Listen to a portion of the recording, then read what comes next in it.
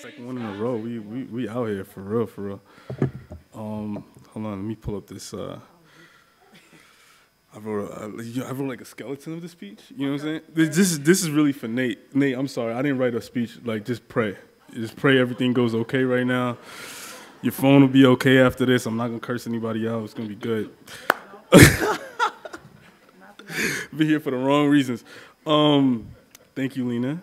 Uh, thank you, Michael. Thank you Footwear News for uh, acknowledging my contributions. Um, this is the last person of the year of the decade, so we're just gonna call this the person of the decade. All right. Um, at the beginning of this decade, I was in a very different place than I am right now. Um, at the beginning of this decade, I actually used to carry around this BMW key. It's like 528i BMW key that I always had on me because um, I used to live in that car. And uh, I used to always say, like, you know, I'm gonna keep it with me so I can remember where I'm where I'm from when I'm buying houses and when I'm doing shit. And, like, and then I lost the key. Uh, but you know, it's still it's still near and dear to me. At the beginning of this decade, I was working at AT and T. Um, I was really miserable in my life. I was really just trying to like figure it out. At um, at every turn, I was never really like secure in my decisions. Um, to be a fashion designer, my my family wasn't used to that notion. Um, that seemed like something that was really far fetched because Haitian immigrant family. Um, we know no, we know to be a nurse, you know, try to be a doctor, a, a physician's assistant, paralegal, something like that, um, and you just try to do your best and you know raise your kids as as as uh, eloquently as you possibly can with that information. Um, when I told my family that I wanted to be a fashion designer uh, all of 19 years ago, uh, when I was 13 years old, uh, it, that conversation didn't go well.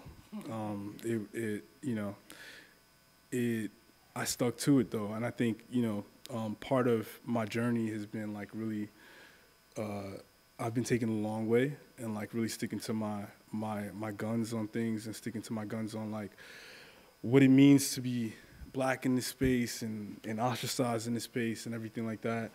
And um, the the long way is indeed long. That's the you know it's the best way I can describe it. Um, so, you know, I really appreciate this honor. Uh, person of the decade definitely comes with a long receipt. Uh, definitely comes with a long receipt of people who helped me get such an honor. I know it's easy to believe your favorites achieve success on their own because the theory, you know, the theory supports antisocial behavior, which we're which we've um, grown to believe and love and understand. Um, but I'd be lying if I, did, I said I did this by myself. This year I experienced my first spiritual awakening, um, my first public panic attack, my first, uh, uh, my first time like having to travel to like multiple continents in a week, like four continents in a week or something like that. Um, I met lifelong friends. Uh, I read about nine books. I created a, I created over 25 jobs in this past like maybe three months alone.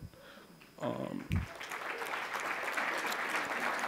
and I, and, and, one of the things that I learned this year uh, is that true suffering is waiting for a thank you.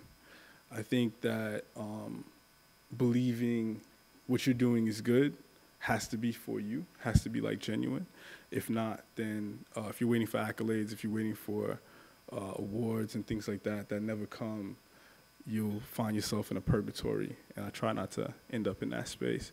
Um, instead, I'm going to say thank you to all the people that went into making this year what it was and to making me into making me the person of the decade.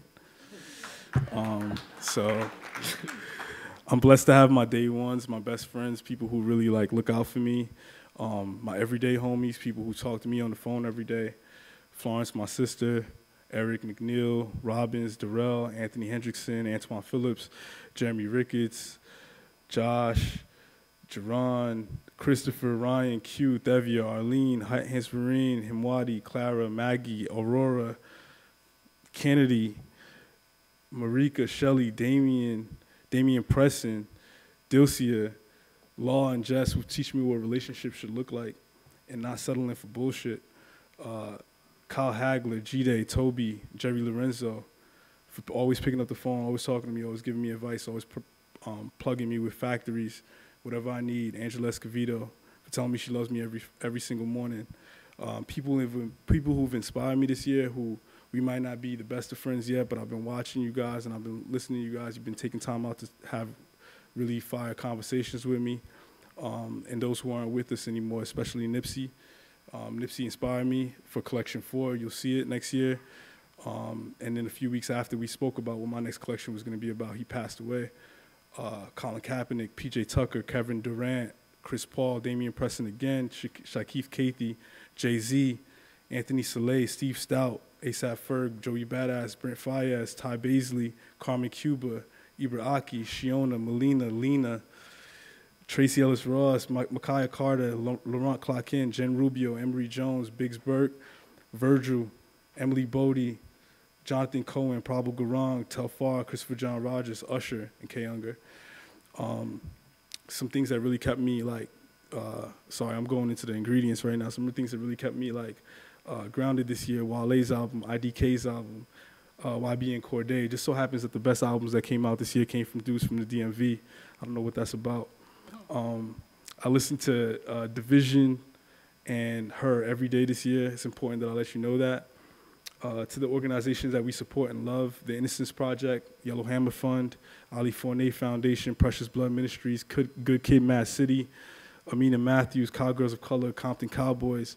You guys do the work on the ground that really keep me um, focused and, and, and make me know that I'm not doing enough